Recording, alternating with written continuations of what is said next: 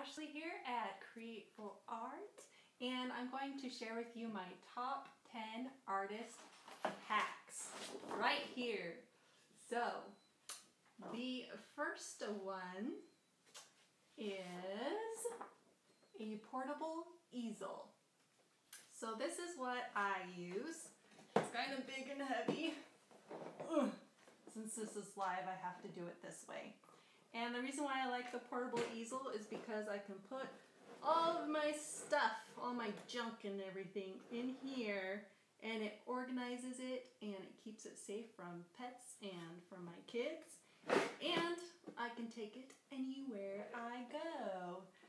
So that's why I love it. And now I'm going to get it off of my table because it's taking up too much space. So that's my first artist hack. And number two is use plates versus palettes.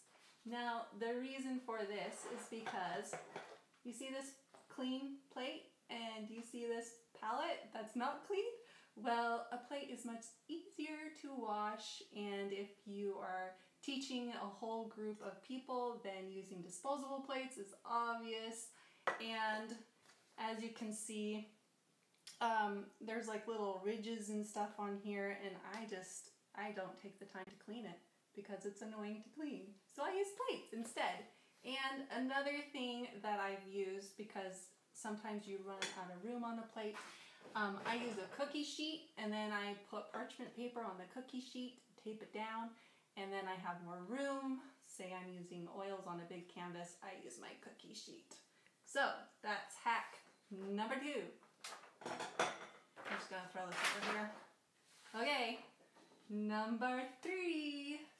I use mason jars with lids for everything. So I store water, you know, and if I'm like going out and I'm going to paint, then I can just put the lid on and shake it up and it's okay.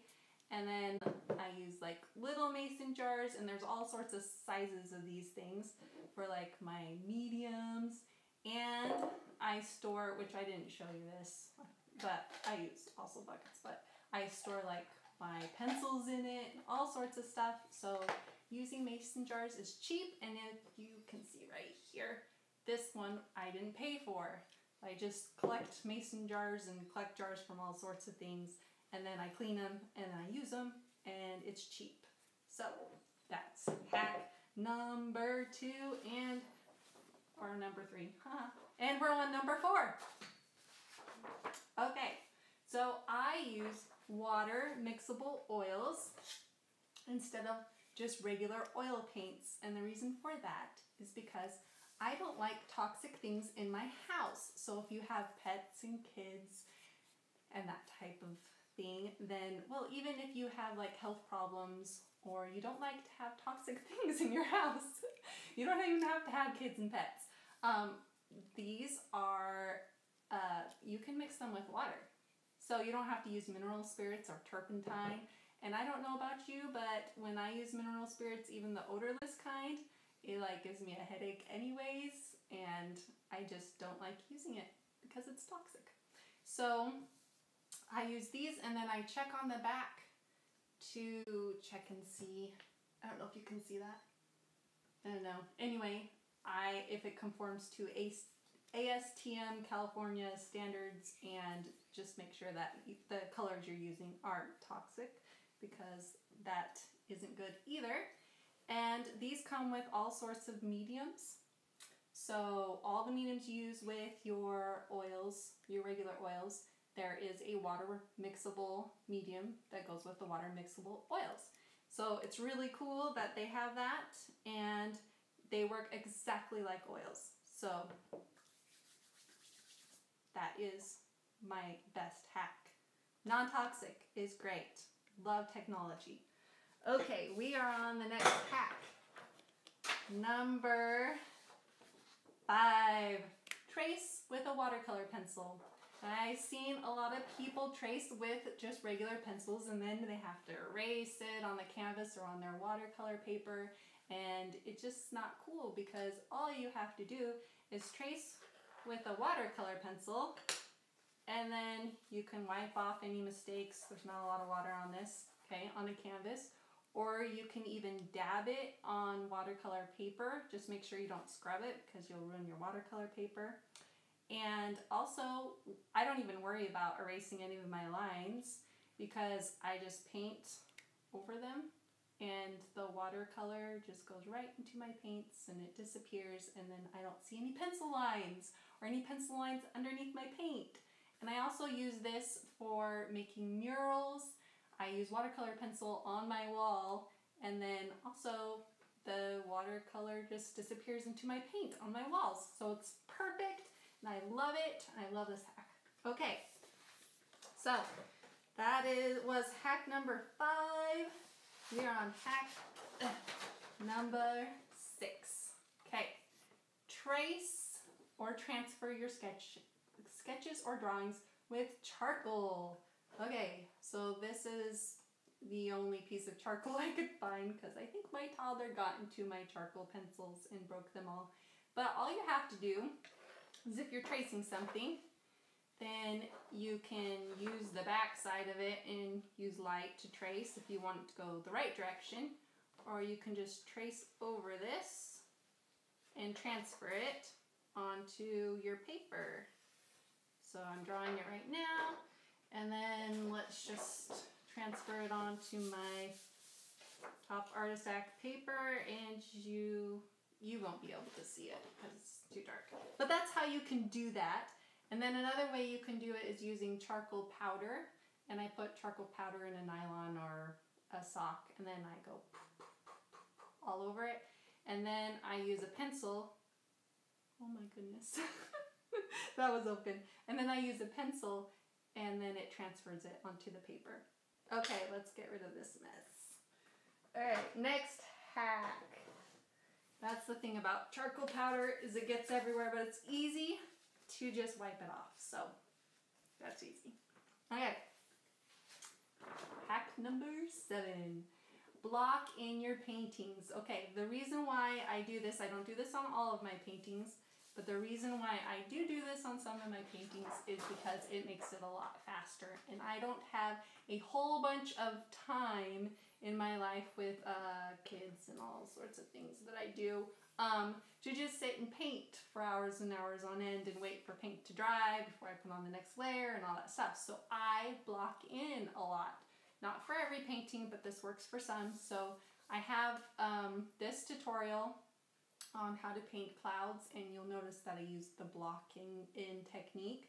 And a lot of people just, when they think of clouds, they think, okay, putting layers and layers and layers over, and that works great.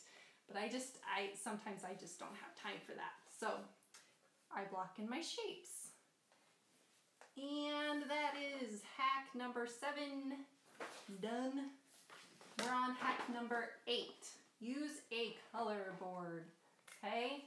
I have a whole video on how to make one of these color boards. You can see the link in the description or you can look it up under my channel and, it'll say how to mix the right colors. And um, a lot of people ask what colors, you know, ask an artist, what colors did you use for this painting and all that kind of stuff. Well, the problem with that question is between brands, um, even the same color name can actually have a different color tint to it. And so that doesn't work. And then also, every time you want to go and paint a project, you have to buy new paint for it. That's not good either. So basically, I just say use what you have, make color board, and then find the color that they're using and use what you have to make that color. It's cheaper, it's easier, you'll get the same results, so it doesn't matter. But if, obviously, if you want to go buy, buy a lot of paint, you can. I just don't recommend that. So, all right, that's that. Hack number eight. We're on hack number nine. Framing is expensive. So I try to use standard frames. So here's an example of a standard frame you get at a store. I really like this frame because it's kind of shabby chic and that's what's in my daughter's room. So this is was like I don't know, maybe twelve dollars, really cheap, inexpensive frame. And if you're trying to get a frame like this for an original painting, it's probably going to cost you like 80 to 200 to 300 dollars. So what I do is I just take out the glass.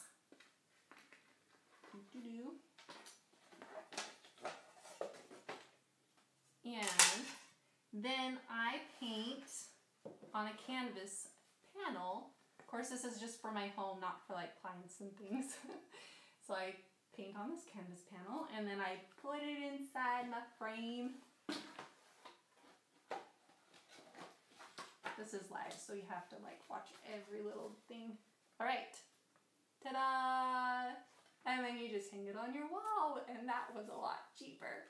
So that's if you want to paint on a canvas panel. Now, hack number 10 is if you want to paint on a canvas with sides. So here I have my painting of my tulips with the sides. And so what I like to do is instead of framing it, because it's so expensive, plus everybody has their different preferences in frames, um, I don't frame it or I paint it on wood but if I'm going to paint it on a canvas, I like to use these little clippy claw things to hang it up. And I'll, oh! And since it's live, I can't take that out. Okay, so it just goes in there like that. And then I can go hang this on the wall and that's super cheap and you can't even see it.